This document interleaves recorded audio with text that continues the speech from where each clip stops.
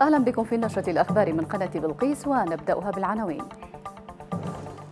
قوات الجيش والمقاومة يسيطران على منطقة العقبة شرق مدينة الحزم في الجوف. التحالف يشن غارات على مواقع لعناصر تنظيم القاعدة في حضرموت ولحج وأبين اشتداد المواجهات في الضباب في تعز والتحالف يكثف قصف مواقع الميليشيا.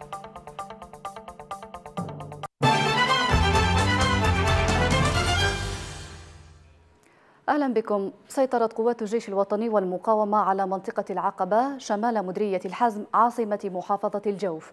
وقالت مصادر في المقاومة إنهم سيطروا على سلسلة الجبال والمواقع التي كانت تتمركز فيها الميليشيا في منطقة العقبة بعد معارك عنيفة أسفرت عن سقوط قتلى وجرحى. وبذلك تكون قوات الجيش والمقاومة قد أمنت مدينة الحزم التي كانت الميليشيا تقصفها بصواريخ الكاتيوشا من العقبة.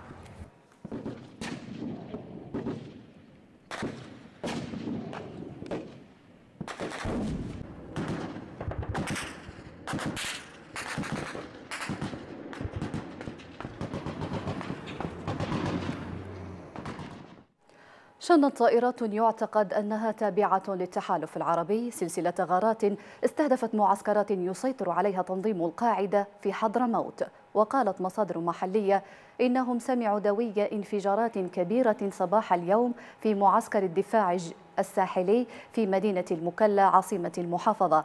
كما سمع دوي انفجارات أخرى في معسكر الريان.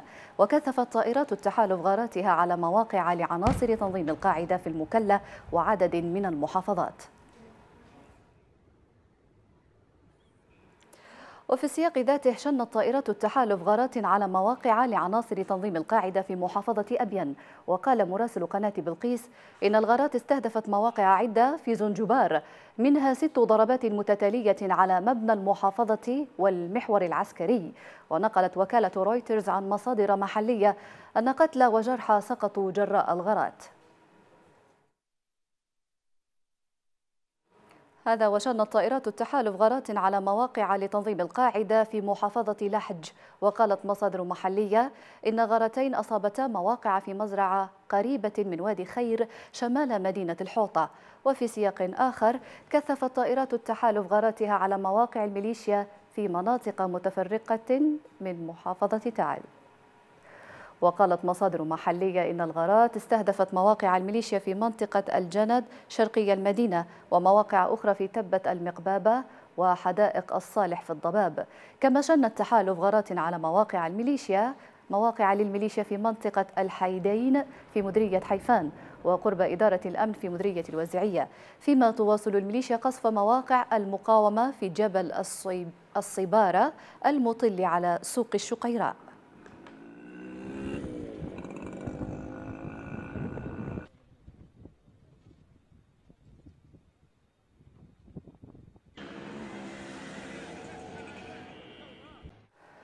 هذا وتشهد جبهة الضباب غرب مدينة تعز مواجهات مستمرة بالتزامن مع غارات جوية يشنها التحالف على مواقع الميليشيا في حدائق الصالح فيما حققت المقاومة الشعبية تقدما في مواقع قريبة من جبل الهان المطل على الخط الرئيس الواصل بين المدينة والضباب. في الجبهة الغربية من مدينة تعز يستعد هؤلاء المقاتلون لمعركة ليست بسهلة رغم الترسانة العسكرية التي تمتلكها ميليشيا الحوثي وقوة المخلوع صالح. إلا أن أخذ استراحة محارب أصبحت أمرا مهما لخوض هذه المعركة غرب المدينة وتأمين الخط الرئيسي وكسر الحصار الذي أعادته الميليشيا من جديد خلال المعارك الأخيرة. هنا يبدو التقدم لمقاتلي المقاومة الشعبية صوب حدائق صالح في جبهة الضباب ممكنا وهو ما يحدث في رحلة محفوفة بالمخاطر لتحريرها من تجمعات الميليشيا. ينتشر العشرات من أفراد المقاومة الشعبية بأسلحتهم الخفيفة في محيط جبل ألهان القريب من حدائق صالح والتي تتمركز فيها تجمعات وآليات الميليشيا والمخلوع. وكالمعتاد حضور التحالف العربي في ضرب الميليشيا مستمر إلى جانب المقاومة حيث شنت الطائرة غارات عدة على حدائق الصالح ومواقع أخرى. هكذا تبدو تفاصيل المواجهات في جبهات الضباب. الميليشيا تحاول التقدم تجاه المدينة. في الوقت الذي أفشلت المقاومة الشعبية ذلك التقدم وتسعى لدحرها من كل المواقع الغربية. وفي السياق تعيش تعز حالة من الدمار الذي طال المنازل والمنشآت العامة والخاصة نتيجة القصف المستمر لميليشيا الحوثي والمخلوع. الأمر الذي أدى إلى نزوح آلاف الأسر من منازلهم وتوقف أعمالهم وهو ما ضاعف من معاناة أبناء المدينة. لا شيء تقدمه هذه المشاهد سوى دافع الميليشيا للحرب والخراب. بعد عام من الحرب على تعز. تظهر هنا حجم الكارثة التي لحقت بكل هذه المساكن. في أغلب هذه الأحياء كغيرها كانت مئات الأسر تقطن هنا. لكن بعد المعارك التي دارت فيها وحولها والتعرض للقصف المركز من قبل الميليشيات على هذه الأحياء فر الآلاف من المدنيين. بعد أن تعرض بعض جيرانهم للقتل والبعض الآخر للإصابة. بينما تعرضت أغلب متاجرهم لعمليات سطو ونهبت أغلب ممتلكاتهم. المنشآت كالمستشفيات والمدارس هي الأخرى. لم يستثنها قصف الميليشيا المستمر. عملت على تصديع النسيج الاجتماعي طيلة هذه الفترة أحدثت خراب ودمار شتتت الأهالي بين نازحين و وقتلى وجرحى آه، لا يوجد مكان إلا وحدثت فيه نوع من من التدمير والخراب و على الرغم من الحديث عن هدنة مرتقبة في العاشر من الشهر الجاري إلا أن جبهات القتال ما تزال مشتعلة.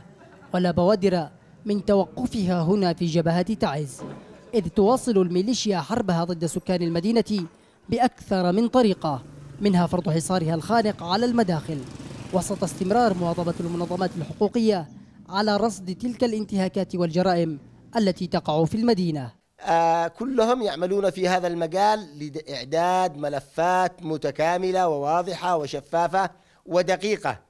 ابتداء من جمع البيانات قاعدة بيانات وانتهاء بجمع الوثائق كلها بما يؤكد يعني ارتكاب هذه الميليشيات لهذه الجرائم وما يؤكد وقوع الضحايا وسقوط الضحايا.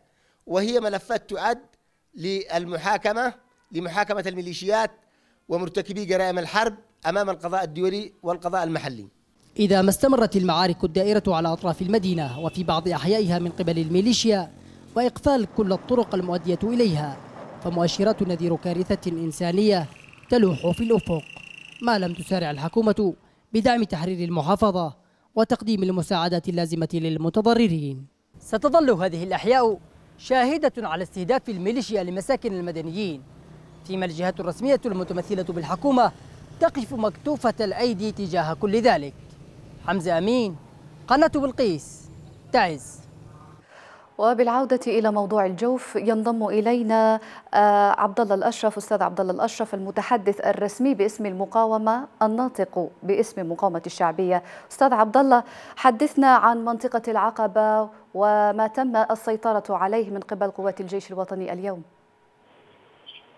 بسم الله الرحمن الرحيم. آه، أبشر شعبنا اليمني بهذه الانتصارات الكبيرة العملاقة التي حققها أبناء الجهود والمقاومة الشعبية والجيش الوطني ممثل بالمنطقة السادسة بقياده قائد المنطقة السادسة الرجل البطل العملاق آه، أمين الوائلي وأعزيه من على هذا المنبر في استشهاد مرافقه الشخصي عبد القوي الكبودي رحمة الله عليه. نسأل الله أن يتقبله ويتقبل جميع شهدائنا.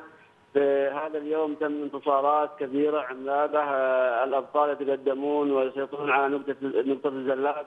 والجبال التي شرقها والجبال التي غربها ويتقدمون والآن يسيطرون على كل العقبة من جهة مديرية الحزم ولا زال الميليشيات يدافعون من جهة آه، خب الشعب مديريه خب الشعب الجزء الجنوبي منها وبإذن الله سيتم تطهيرها وقبل ربع ساعة عشرة حوثيين الآن يسلمون أنفسهم بعد أن تم دفع الإمداد عنهم. وتم تسليم أنفسهم والآن هم أسرى لدينا وبإذن الله سيتم تطهيرها بالكامل خلال الساعات القريبة. آه، أستاذ عبد الله ماذا بعد تأمين هذه المدينة مدينة الحزم ما الجديد بعد ذلك؟ بعد مديرية الحزم إن شاء الله ستتجه الجيش المقاومة غربا نحو مديرية الزاهر المطنة الزاهر المتاخم لمديريات لحرب سفيان أول مديريات عمران والمطمه المتاخمة لأرحب آه، صنعاء. نعم أستاذ عبد الله هل حدثنا على جبل صيبارة المطل على سوق الشقيراء الأهمية الاستراتيجية التي يمثلها هذا الجبل؟ أين يقع هذا الجبل؟ لا أعلم أين يقع جبل الشقيراء عفوا أه، شكرا جزيلا لك كان معنا الأستاذ عبد الله الأشرف ناطق رسمي باسم المقاومة الشعبية من الجوف. إلى ذلك سقط قتلى وجرحى من الميليشيا في كمين للمقاومة استهدف دورية للحوثيين في مديرية المخادر في محافظة إب. وقال مصدر في المقاومة إنهم استهدفوا أمس الاثنين تعزيزات للميليشيا في وادي المنوار بنقيل سمارة شمال المدينة كانت في طريقها إلى تعز. وأسفر الهجوم عن سقوط قتلى وجرحى وإعطاب الدورية. هذا وتستهدف المقاومة تعزيزات الميليشيا ودورياتهم في مناطق مختلفة من المحافظة.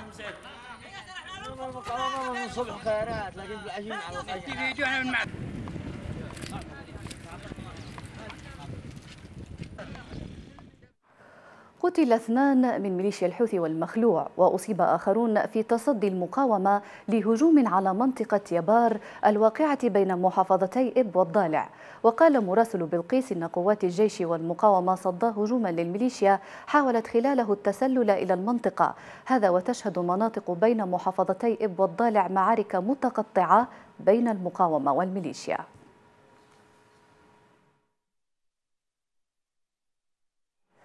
وفي سياق آخر طلب محافظ مأرب سلطان العرادة الحكومة وقوات التحالف الوفاء بالتزاماتها للقوات المسلحة والمقاومة الشعبية. وقال العرادة في اجتماع موسع للجيش الوطني بحضور الوفد الوزاري الحكومي. إن على الحكومة والتحالف تقديم الموازنة والمعدات اللازمة للقوات المسلحة. وطلب العرادة بتقديم الدعم من أجل إعادة إعمار اليمن. مطلب على الحكومة أن تحمل هذا المطلب القيادة السياسية والإخوان بالتحالف. أن يتم الوفاء بالالتزامات للقوات المسلحة والأمن والمقاومة الشعبية حتى تظل رافعة الرأس. وألا نتركها تستجدي. وأن توضع وأن توضع الموازنة الكافية واللازمة والمعدات اللازمة. نحن نعلم جميعا ما تعرضت هذه المؤسسة من على أيدي المتمردين والإنقلابيين من الميليشيات التي تخدم بالوكالة. فارس والمجوس هدمت هذه المؤسسة الهامة التي هي مؤسسة الوطن والتي لا يمكن أن أن يقوم وطن ولا أن تبقى حريته ولا أن تستديم تنميته ولا أن يبقى شعبه في حرية وكرامة إلا وفي مارب أشهرت قبائل قيفة رداع التابعة لمحافظة البيضاء مجلسا للمقاومة الشعبية. وقال رئيس المجلس صالح مبخوت الزوبة إن الهدف من المجلس هو توحيد جهود المقاومة وجميع القبائل ومساندة قوات الجيش الوطني في مواجهة الميليشيا. هل يكون تشكيل مجلس أعلى للمقاومة في رداع بداية الطريق لتوحيد جبهات المقاومة بشكل كامل؟ في محافظة البيضاء يبدو السؤال سابقا لأوانه إذ تبدو المحاولة الآن في طور ولادتها الأولى خصوصا وأنها لم تأتي من داخل المحافظة بل جرى تشكيلها وإعلانها من محافظة مأرب. خلال عام ويزيد تخوض مقاومة البيضاء حربا على مختلف الجبهات مع ميليشيا الحوثي وقوات الرئيس المخلوع. حرب جربت المحافظة طرقا كثيرة فيها للتخلص من الميليشيا. في مقدمتها عدم الاستسلام لسلطة الأمر الواقع التي أرادتها لهم جماعة الحوثي. فمن الاعتماد على عملية التسليح الشخصي إلى تدريب الكتائب أيضا بطريقة تقليدية. كما أن واحدة من هذه الطرق تدخلت الحكومة الشرعية فيها ودربت كتائب من اللواء 117 بقيادة قائد المنطقة الثالثة. قوات اللواء 117 جاهزين.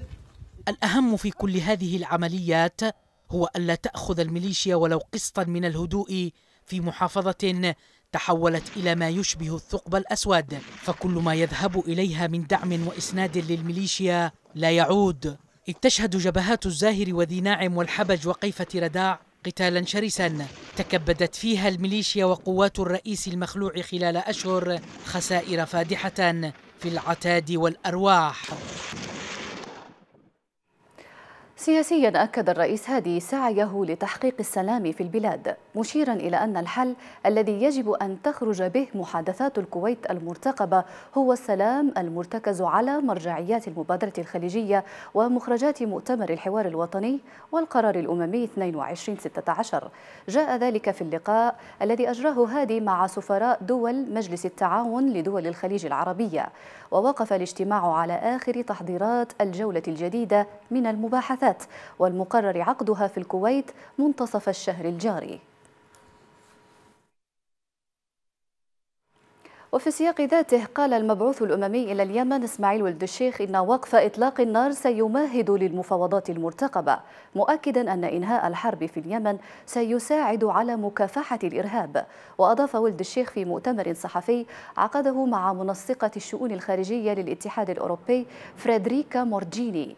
إن المشاورات المقبلة في الكويت تهدف إلى اتفاق شامل ينهي الصراع في اليمن وأكد ضرورة السماح بوصول المساعدات الإنسانية إلى كل المحافظات مبينا أن الأوضاع الإنسانية في اليمن صعبة للغاية.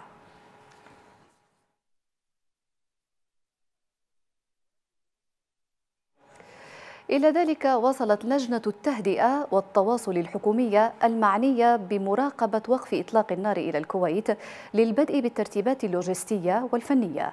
وقال نائب مدير مكتب الرئاسة رئيس الفريق الاستشاري للمشاورات عبد الله العليمي إن الفريق الحكومي سلم مسودة ملاحظاته حول الورقة المقدمة من المبعوث الأممي وفريقه المتعلقة بترتيبات وقف إطلاق النار.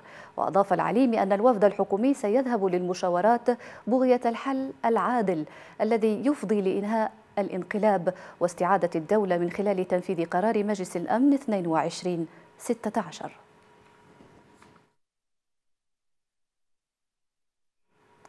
وفي سياق آخر أفادت مصادر إعلامية سعودية أن المواجهات تجددت في الحدود اليمنية السعودية بين الحوثيين وقوات حرس الحدود وقالت قناة الإخبارية السعودية إن قوات التحالف صدت هجوما واسعا شنه الحوثيون على مركز الربوعة الحدودي وتعد هذه الاشتباكات هي الأعنف منذ إعلان قيادة التحالف في الثامن من مارس الماضي التوصل لتهدئة على الحدود بوساطة قبلية واجتماعية يمنية.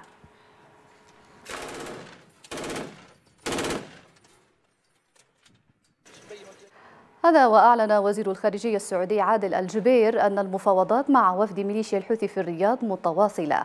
وقال الجبير في مؤتمر صحفي عقده بالرياض مع وزير الخارجية النيوزيلندي. إن المحادثات تحرز تقدما. نافيا وجود ممثلين عن الرئيس المخلوع علي عبد الله صالح في الرياض. من بوابة الربوعة يسعى الحوثيون لمغادرة الحرج الناجم عن إعلان وزيري الخارجية والدفاع السعوديين وجود وفد حوثي في الرياض لإجراء مفاوضات مع الجانب السعودي لإنهاء الصراع على المناطق الحدودية. الوفد الحوثي في الرياض مستمر في المفاوضات المبنية على خطوات التهدئة والتفاهمات التي أعلن عنها الناطق باسم ميليشيا الحوثي محمد عبد السلام عقب عملية تبادل الأسرى قبل أكثر من أسبوع. لا أحد يعرف حتى الآن فحوى الاتفاق السعودي الحوثي بالرغم من التطمينات السعودية التي أعلن عنها وزير الخارجية السعودي عادل الجبير في مؤتمر صحفي وصفها بالمطمئنة. الموقف الحوثي ما زال غامضا حول تلك المفاوضات ولم يصدر تأكيد أو نفي بخصوصها من الحوثيين. كان ينظر للتفاهمات على الحدود بأنها تمهد لملف التفاوض في الكويت وإقفال للتوتر الحدودي الذي لطالما كان الملف الأكثر إزعاجا للسعودية.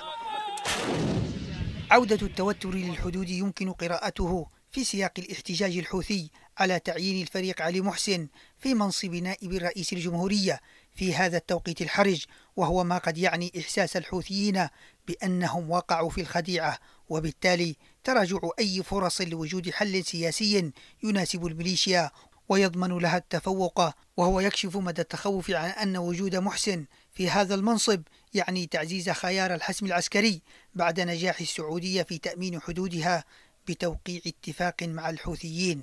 غير أن موقف الحوثيين تغير تماما وعاودوا مهاجمة المناطق الحدودية وبحسب المصادر الإعلامية السعودية فقد شهدت منطقة الربوعة يوم أمس أعنف مواجهات بين الطرفين حيث أعلنت قناة الإخبارية السعودية مقتل أكثر من مئة حوثي في تلك المعارك بعد عملية هجوم واسعة شنها الحوثيون وهو ما يهدد الهدنة التي أعلن عنها في الثامن من مارس الماضي بوساطة شخصيات قبلية واجتماعية يمنية. بات واضحا أنه لا يمكن إيجاد حل جزئي للأزمة اليمنية وأن ما يحدث في الحدود ينعكس بالضرورة على الأوضاع في العمق اليمني وأنه لا يمكن إطفاء الحرائق إلا بكنترول موحد يشمل الداخل قبل الخارج. طالبت عائلة السياسي المختطف والقيادي في حزب الإصلاح محمد قحطان بإطلاق سراحه في وقفة احتجاجية أمام مبنى الأمم المتحدة في العاصمة صنعاء. وفي الوقفة دعت أسرة قحطان المجتمع الدولي وفي مقدمتها الأمم المتحدة بتحمل كامل المسؤولية الأخلاقية والإنسانية تجاه المخفي قصرا محمد قحطان الذي اختطف من منزله ولم يسمح لهم بزيارته أو حتى الاطمئنان على سلامته منذ عام مضى. كشف تقرير حقوقي عن سلسلة من الانتهاكات ارتكبتها ميليشيا الحوثي والمخلوع في محافظة عمران شمال العاصمة صنعاء. وسجل التقرير الذي أعده مركز المستقبل الإعلامي. أربعين حالة انتهاك بحق المدنيين ارتكبتها الميليشيا خلال شهر مارس المنصرم توزعت على عدد من مديريات المحافظة.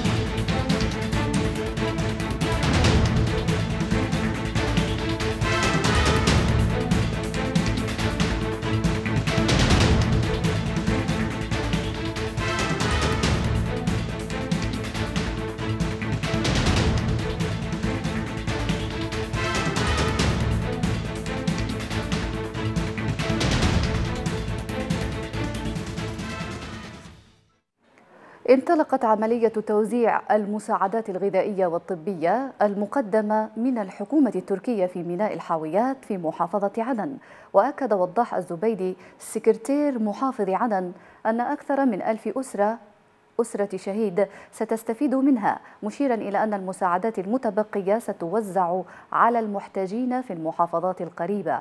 وكانت السلطات المحلية قد تسلمت نهاية فبراير الماضي شحنة مساعدات تركية تقدر حمولتها بخمسة آلاف وثلاثمائة طن من المواد الغذائية والطبية.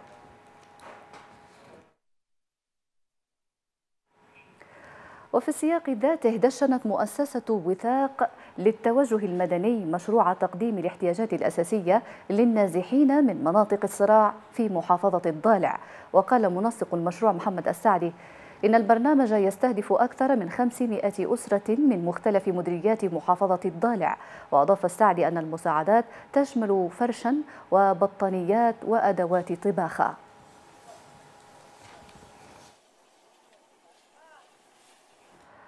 شدد وكيل محافظة شبوة سالم عبد الله الأحمدي على ضرورة استكمال إعادة تأهيل فرع البنك المركزي في المحافظة بأسرع وقت. وأكد المدير العام لفرع البنك صالح فضعق أهمية الشروع في عملية تركيب منظومة التقنية الإلكترونية التي يعمل بها البنك والعمل على توفير التجهيزات الفنية وضرورة استكمال الدراسات الهندسية الخاصة بإعادة سقف الخزينة العامة كي يتمكن البنك من استئناف العمل.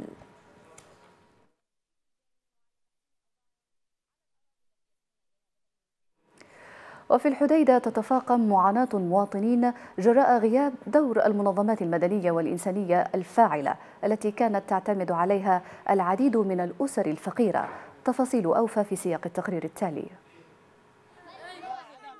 وجوه متعبة أرهقها الانتظار. أجبرتها الحاجة على الجلوس هنا فهي لا تقوى حتى على الوقوف في ذلك الصف. كغيرها من الناس الذين سارعوا للحصول على بعض المساعدات الواصلة إليهم أخيرا من بعض المنظمات الإنسانية. في الحديدة تغيب الدولة وتحضر الميليشيا فقط وبينهما يحضر الكثير من الخوف والجوع. إلى ما قبل دخول الحوثيين كانت العديد من الأسر الفقيرة تعتمد بشكل أساسي على ما توزعه المنظمات وتتكفل به الهيئات من مواد غذائية وإغاثية. عدد كبير من منظمات المجتمع المدني ومؤسسات العمل الخيري أغلقت أبوابها بعد ملاحقة الميليشيا للقائمين عليها وتجميد أرصدة بعضها في البنوك اليمنية. لتبقى هذه الأسر دون مصدر للدخل يساعدها على الاستمرار في الحياة. تنتظر فقط بعضا من هذه المساعدات المتسللة إليهم. تعد الحديدة واحدة من أفقر المدن اليمنية وأكثرها بؤسا. تنخفض فيها معدلات الفرد لأقل من نصف دولار في اليوم الواحد. أبناؤها يعانون فقرا ضعفته الحرب فأسكنتهم في مرمى الحاجة التي لا ترحم. إلى هنا تنتهي النشرة. نذكر بأبرز ما كان فيها. قوات الجيش والمقاومة يسيطران على منطقة العقبة شرق مدينة الحزم في الجوف. التحالف يشن غارات على مواقع لعناصر تنظيم القاعدة في حضرموت ولحج وأبين اشتداد المواجهات في الضباب بتعز والتحالف يكثف قصف مواقع الميليشيا. قدمنا هذه النشرة لكم من قناة بلقيس. للمزيد يمكنكم متابعة الأخبار العاجلة من موقع القناة الإلكتروني والتفاعل مع صفحاتنا على مواقع التواصل الاجتماعي. في أمان الله.